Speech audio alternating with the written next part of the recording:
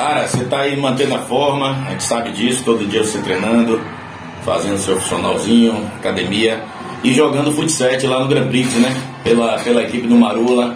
Como é que tá a situação do Marula e, e desse Grand Prix futsal aí da federação? Tá invicto, né? Jogamos três jogos, três vitórias, o artilheiro do time é o Sheldon. Grande Sheldon, Traga pra caramba, é um cara que na. Bom, bom pro X1 ali é, bom X1, mas ele tá preguiçoso, viu, pô? Ele não quer treinar, ele só quer jogar, ele sabe que ah. ele resolve, ele tá muito preguiçoso. Mas ele no X1 também ia dar um trabalho pra caramba pra quem pegasse ele contra. Mas o Marula ali, como eu te falei, né? Três vitórias, o Sheldon destruindo, fazendo gol. E a gente tem um pensamento de primeiro de classificar, porque a gente sabe que a competição é muito difícil, Galícia ali, tem alguns outros times que Isso. a gente sabe que é candidato ao título. Mas aos poucos o Marula vai se fortalecendo para chegar na, na, na fase mata-mata a gente está forte.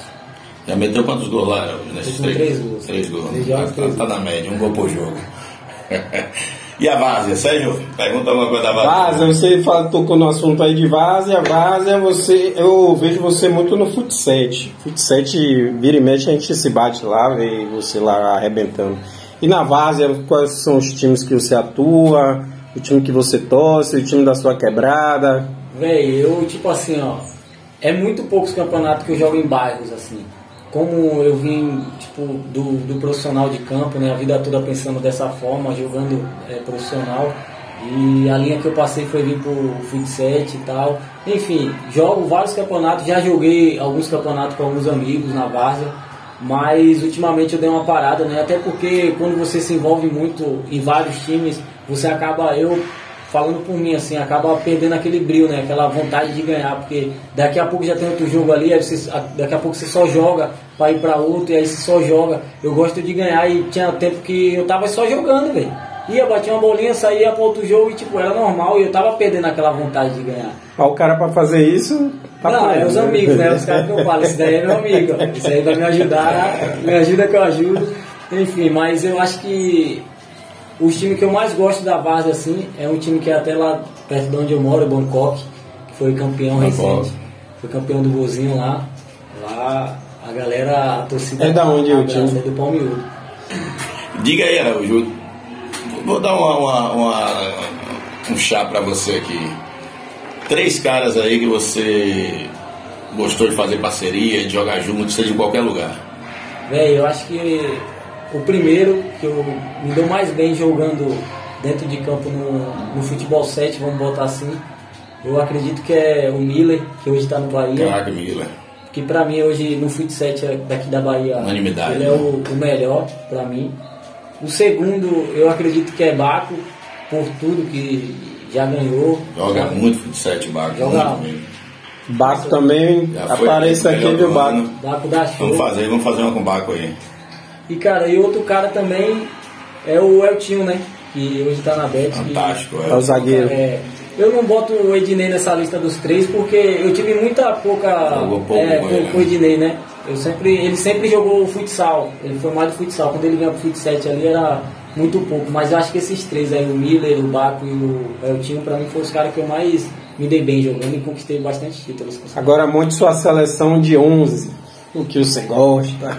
Aí, aí ele tem jogador. Monte seu goleiro, do é, goleiro, do goleiro à ponta esquerda. o tio tá em todas, né, tio? Tá em todas, tá em todas. Ele deve estar nessa seleção é, aí também. Véi, é porque assim, ó, eu vou botar alguns caras que são profissionais, né? Que, é, é, que, que vive da bola também, né? Claro, é, profissional mesmo, não é amizade não. Goleiro, ó, goleiro, eu tenho o Valdson, Rodrigo, que pega pra caramba. Monstro. Tem outros, né? Mas Pra montar do melhores do Brasil. Acorda time do Brasil aí, ó. Volte isso aí, viu? Zagueiro tem o Alisson, né?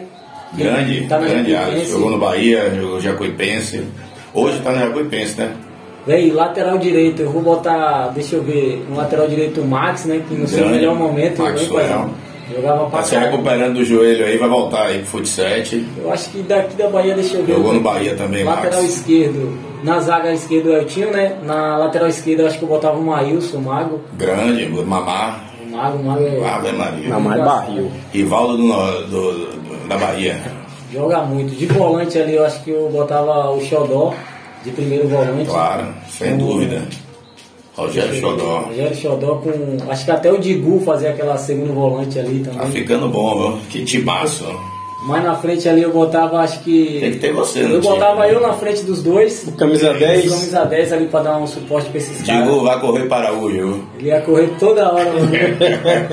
Bem, na ponta eu botava. Vou dar uma moral pra Chorinho. Velho Chorinho choro. na ponta esquerda ali eu botava ele. É, Centroavante. na direita eu botava o Felipe, que tá no Bahia Futsal, que eu sou fã do futebol. Grande Filipinho. Joga pra Filipinho caramba. joga Filipinho, muito. é, Muito, muito, muito. Melhor jogador da Série A aí foi eleito. Fez três gols na Três na final. final. E de centroavante ali, o homem gol, eu tava com duas opções aqui pra, pra botar aqui, mas eu acho que o. Pra mim, no- no- na minha concepção, o cara que faz gol é Ricardo Raikio. Raikio, grande Raikio. Ele, o homem sabe fazer gol. Grande Raikio, multicampeão de futsal. Que seleção, ô Zé? Que É, seleção. botou- mas você botou um time E futsal aí, né? É, porque, tipo assim, alguns caras já viviam Ah, na bola. essa galera Max, aí, profissional, né? Digu também jogou, pô, em vários clubes, né? Isso, Maílson, esses caras. Todos profissionais aí. profissionais Acho que o único que não foi profissional aí que ele colocou foi Raikio. Foi o Raikio, que merecia uma oportunidade. Que ele merecia muito, um centroavante e goleador. Goleador tem, mesmo. eh, no lugar dele também ali tinha ele e Gino, porque sempre os dois. Ele e né? Diego Gino sempre Os foram, né? sempre- Sempre foram. Diego Gino, fenômeno, fenômeno. Um abraço, filhão. Qual foi o jogador baiano que você viu como top? Baiano, Hum. eu acho que eu vou ficar com, com o mais recente agora, que foi um cara que eu joguei contra diversas vezes e via que ele sempre foi diferenciado, é o Talisca, né? Hum. Que pra mim eu acho que hoje é o melhor jogador baiano, natural, né? Você acha pô, que Talisca já pode ser considerado um dos melhores Nos últimos do- anos, dos últimos anos aqui? Eu acho que sim. Talisca de 2000, 2000 para cá, né? Eu acho que não teve, não teve um jogador melhor que Talisca aqui no futebol baiano, não. E hoje está jogando em alto nível. Infelizmente, não teve oportunidade com, com o Tite na seleção, porque eu acho que ele joga ali de, de volante até atacante, ele joga em qualquer lugar. faz mais que muito. Faz gol de falta, bota a bola onde quer. É, é, eu acho um jogador, Talisca hoje é um jogador completo que merecia mais oportunidades na seleção, né? Mas pelo que, pelo que a gente vê, já está fechado aí. E Talisca ele, ele acabou jogando em, praças distintas, né? Que, que não, não é muito visto pela, pela, pela comissão da seleção brasileira, que foi na, na, na Turquia, né? hoje está na Arábia. Então Talisca ele, ele realmente para mim é um dos melhores jogadores que já houve na história do futebol baiano. A verdade é essa. Você já se imaginou jogando na seleção brasileira? Não, eu falar que eu já me vi vestindo a camisa da seleção, nunca Mesmo tendo aquela passagem boa lá na, na- na Arábia Saudita, Cara, com vários gols. Eu acho que, porque tipo assim, ó, é como eu te falei, muitas, muitas, muitas pessoas que me pegaram desde o início, eu me encontrei com muito vendedores de sonho, né? Tem esses caras que são os vendedores de sonho, que te Demais. promete coisas que, na real, na real, a gente sabe que não vai sair dali.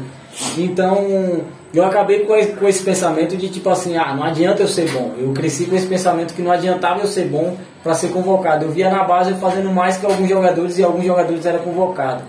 Aí eu ia pro extracampo e via que era além da bola, era além do que ele fazia no dia a dia, no dia dos jogos, enfim. Então quando eu cresci com essa visão, eu já, de novo, como eu não tive empresário, não tive ninguém, eu sempre tive uma percepção das coisas muito, muito boa, porque eu sabia que eu dependia só de mim, não dependia de alguém resolver uma briga minha.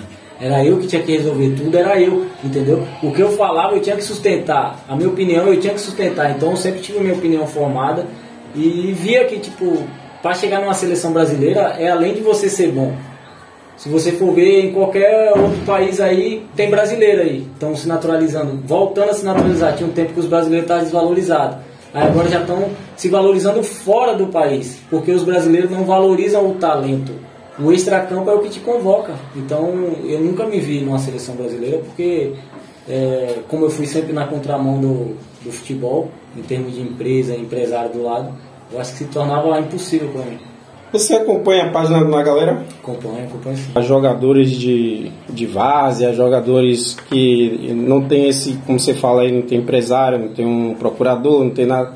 Qual é a importância que o Na Galera tem para essa turma aí? ajuda demais, assim, ó, porque a visibilidade que, que vocês estão dando, né? Eu falo vocês porque na galera acredito que não é só você, né? A, a- na galera é uma, uma equipe e estão se ajudando e ao mesmo tempo que estão dando visibilidade para muitos jogadores é, que são da várzea, que vivem da várzea. Tem pessoas que pô, dão a vida pela várzea e a gente conhece, a gente que conhece algumas pessoas que são donos de time e essa importância que a imagem, o marketing digital está tendo, tá tirando muitas pessoas de dentro de casa, assim, que ninguém nem conhecia, velho. E os caras talento puro, sabe? E com certeza é, agregam muito na, no crescimento até da várzea do futebol baiano. Essa crescência que vocês estão tendo no, na, nas ligas que vocês estão tendo, liga na Delva, no Imbuí, enfim, em, por onde passa, está tendo competições muito competitivas, onde muitos jogadores estão fazem questão de estar tá jogando, né? E acredito que é muito importante esse projeto que vocês têm aí da divulgação do, do marketing digital.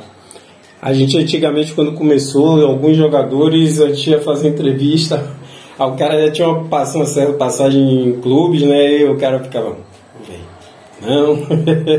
Hoje já mudou, já a galera já.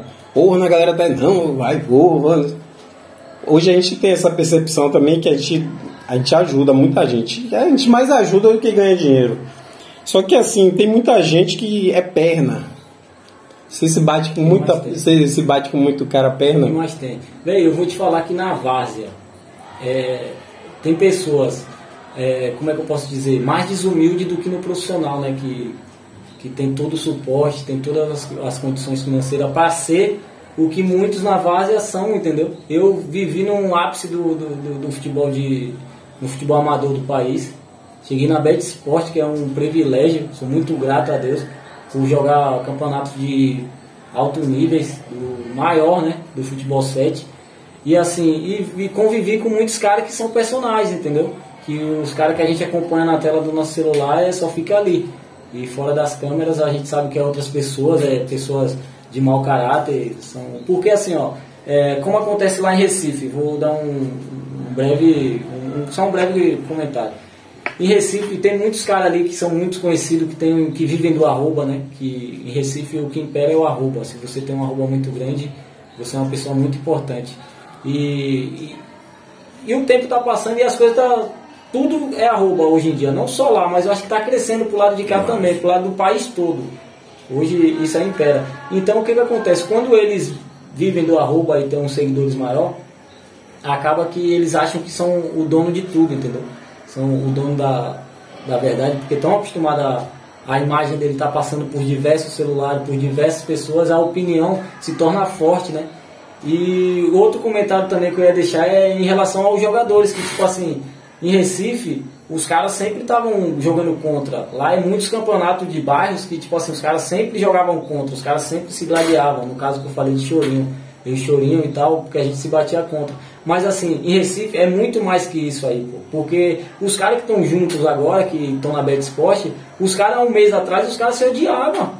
Sabe? E para os caras estar tá junto hoje e ser melhores amigos, não que não seja. Pelo contrário, os caras se fecharam. A, a Bet Sport é um projeto é sério, de verdade. Os caras que estão lá, com certeza, são os melhores do país. Olha lá, é o melhor do mundo que, que, que tem no time. Mas enfim, para ter esse elenco tudo junto é muito difícil. Não é fácil uma comissão técnica lidar com esses caras. Porque na, na mente a, a, profissional tá todo mundo junto, tá todo mundo correndo. É trabalho de formiguinha, uma veia só, todo mundo vai junto e tal, todo mundo quer ganhar. Na Várzea não, pô. Na Várzea é uma guerra de interesse. Na Várzea não é todo mundo ganha, você faz o gol, todo mundo ganha. Não é, quem faz o gol é o cara que, que manda, é o cara que ganha. Então muitas das vezes você tá do lado só, os caras às vezes pensam, tá entendendo? De dar, vou, será? Dá. Uhum. Mas esse time aí é o time que já chega uma marcação, tá entendendo? É, um, é umas coisas assim que o mundo amador eu acho que, é, que fica mais, mais estranho. É um, é um ambiente que eu não consegui me adaptar não.